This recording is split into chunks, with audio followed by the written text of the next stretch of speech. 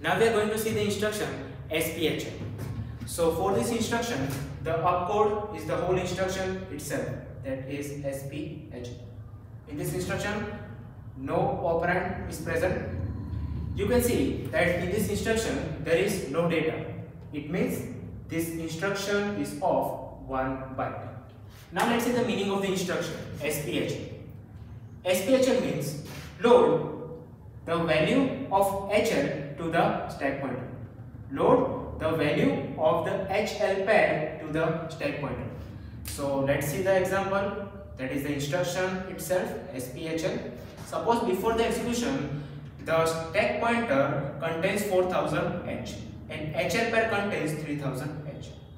Now stack pointer contains 4000 H it means the top of the stack is 4000 H. The stack pointer is pointing at top of the now when this instruction is executed, the content of HL pair will be transferred to the stack pointer. So content of HL pair is 3000H. It will be transferred to the stack pointer. So after the execution, what will be the value of the stack pointer? It will be 3000H. So previously the stack pointer was pointing at 4000H but now it is pointing at 3000H. So now we are pointing at new stack.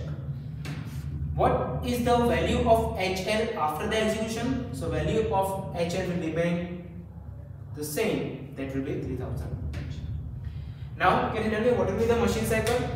Because this instruction is of only one byte, when it is stored in the memory, it will occupy only one memory location.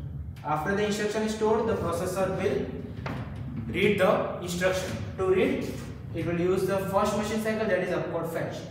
When microprocessor performs the opcode fetch, the instruction is transferred. The processor will decode and execute. During the execution, the data transfer is happening between two register pair which are the part of the microprocessor. So only one machine cycle is needed that is opcode fetch and no flags are affected for this instruction.